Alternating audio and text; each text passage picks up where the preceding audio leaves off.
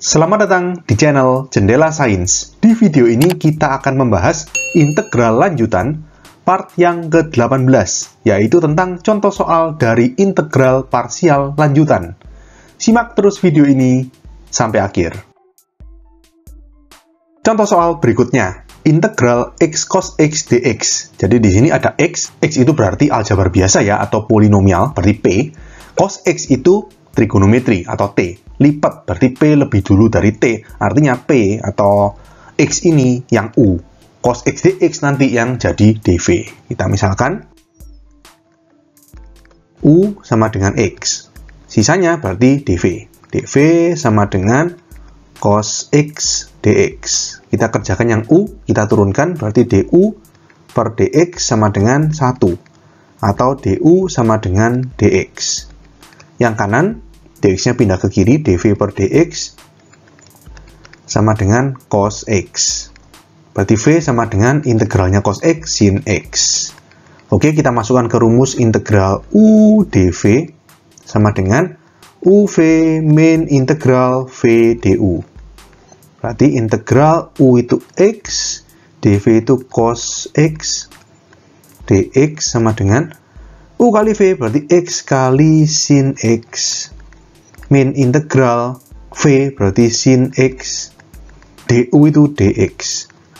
Berarti sama dengan X sin X min integral sin itu min cos ya. Berarti ini plus cos X plus C. Oke jadi kita dapatkan jawaban soal ini. Integral X cos X dx sama dengan X sin X plus cos X plus C Nah, ini kan kita kerjakannya pakai cara manual, cara biasa, cara rumus ya. Jadi kita pakai rumus integral UDV sama dengan UV min integral VDU. Nah, kalau misalkan U-nya itu merupakan fungsi polinomial yang bisa diturunkan sampai menjadi 0, maka kita bisa pakai cara cepat. Cara cepat ini sudah pernah kita bahas waktu di integral parsial yang fungsi aljabar. Jadi kita bikin tabel. U sama dv. U itu fungsi polinomialnya, berarti di sini X. Kita turunkan sampai 0. X diturunkan jadi 1. 1 diturunkan jadi 0. Sudah kan? Stop sampai sini. Lalu dv-nya itu cos X. Nggak usah pakai dx ya, cos X aja. Ini yang kanan, dv-nya ini kita integral. Masih ingat ya cara itu ya? Integral cos itu sin. Terus diintegral lagi, sampai pokoknya ini yang terakhir. Yang 0 ini kanannya apa? Berhenti sampai sini, kita mengintegralkannya. Jadi, integral sin itu min cos, min cos X. Gini kan ya. Terus kita buat garis miring. Masih ingat ya, seperti ini. Lalu tandanya selang-seling.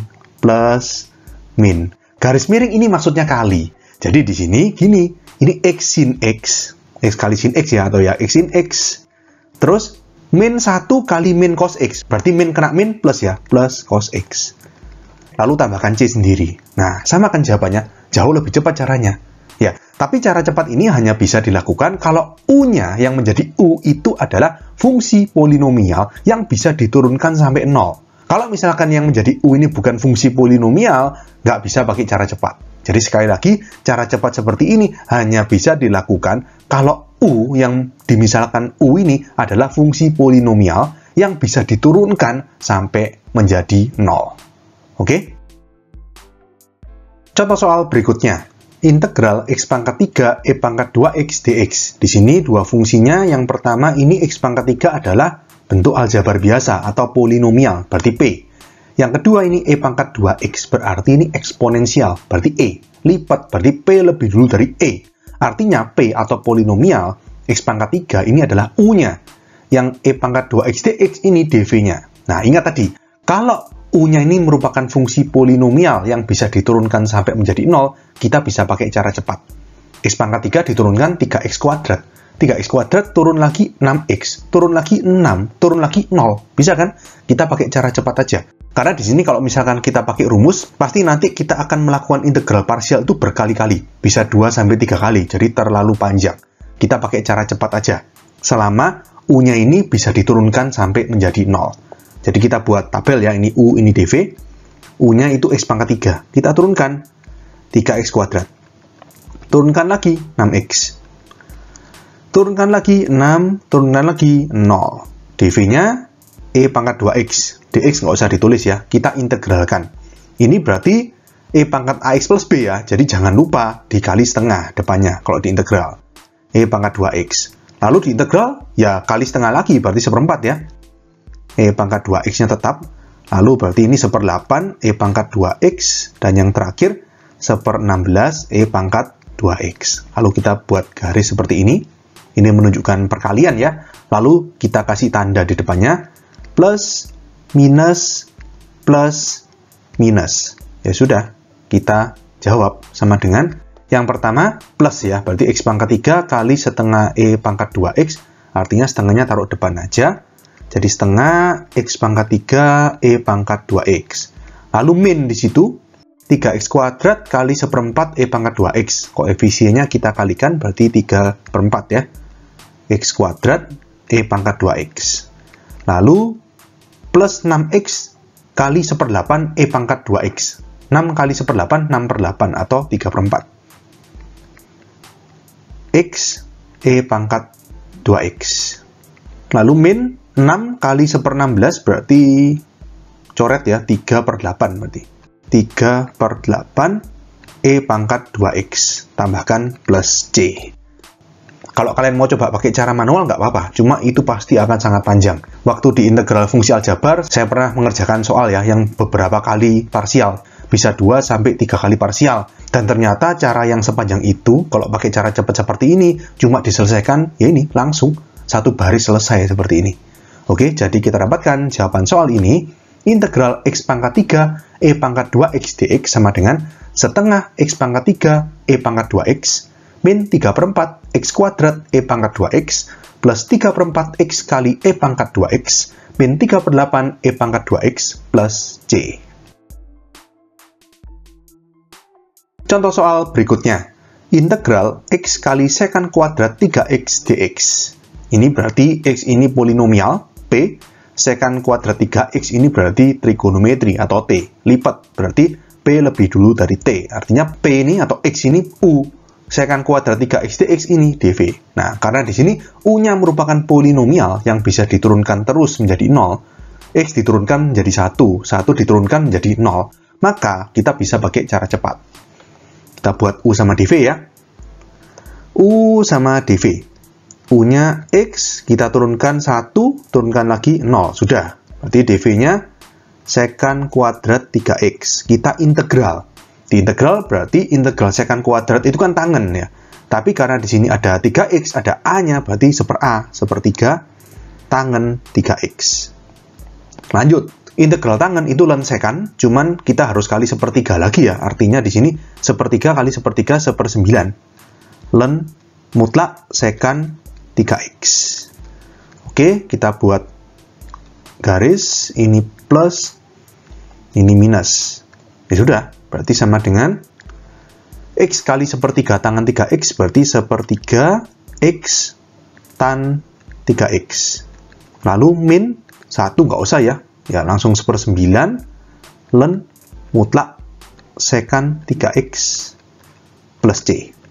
Oke, jadi kita dapatkan jawaban soal ini, integral x sekan kuadrat 3x dx sama dengan sepertiga x tangan 3x min sepersembilan len mutlak sekan 3x plus c.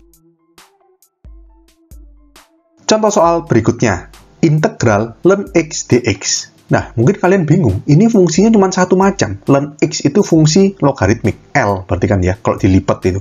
Yang satunya dx, bukan fungsi, cuma dx gitu aja. Terus gimana? Biasanya kan dua ya. Ada dua fungsi, kita identifikasi ini L, I, P, E, apa T. Terus mana yang menjadi U dan mana yang menjadi dv, gitu kan. Ini cuma satu. Terus gimana kalau cuma satu? Gini, integral ln x dx ini merupakan integral yang cara penyelesaiannya pakai integral parsial nggak bisa pakai substitusi atau teknik integral lainnya. Nah, apa yang dimisalkan? Ya, ln x ini u. Lagian kalau dilipat itu kan L logaritmik itu pasti paling atas ya, pasti menjadi U.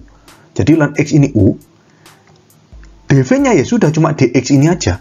Atau bisa kita menganggap dv-nya itu 1 dx. Jadi kayak fungsi konstan gitu ya, dv sama dengan dx atau dv sama dengan 1 dx. Ngerti ya? Nggak apa-apa seperti itu. Jadi di sini Misal, U sama dengan ln X.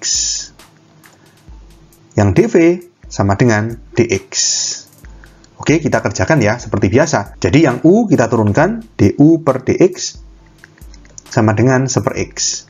Berarti kalau du sama dengan 1 per x dx. Yang kanan berarti dv per dx sama dengan 1, ya kan? Berarti v sama dengan integral 1 dx ya, berarti x. Oke, kita masukkan ke rumusnya. Integral u dv sama dengan uv min integral v du integral ln x dv-nya dx sama dengan u itu ln x v-nya itu x min integral v itu x du itu seper x dx ini x sama seper x langsung coret aja jadi tinggal integral 1 dx ini sama dengan ln x kali x x nya taruh depan aja. X ln x min integral 1 ya x ya plus c selesai kan bisa kita dapatkan jawaban soal ini, integral ln x dx sama dengan x ln x min x plus c. Oke, sekian untuk video kali ini. Untuk melihat playlist lengkap dari bab ini, bisa kalian klik thumbnail playlist yang ada di sebelah kanan atas ini. Jika ada pertanyaan, saran, maupun kritik, bisa kalian tulis di kolom komentar. Semoga bermanfaat dan sampai jumpa di video selanjutnya.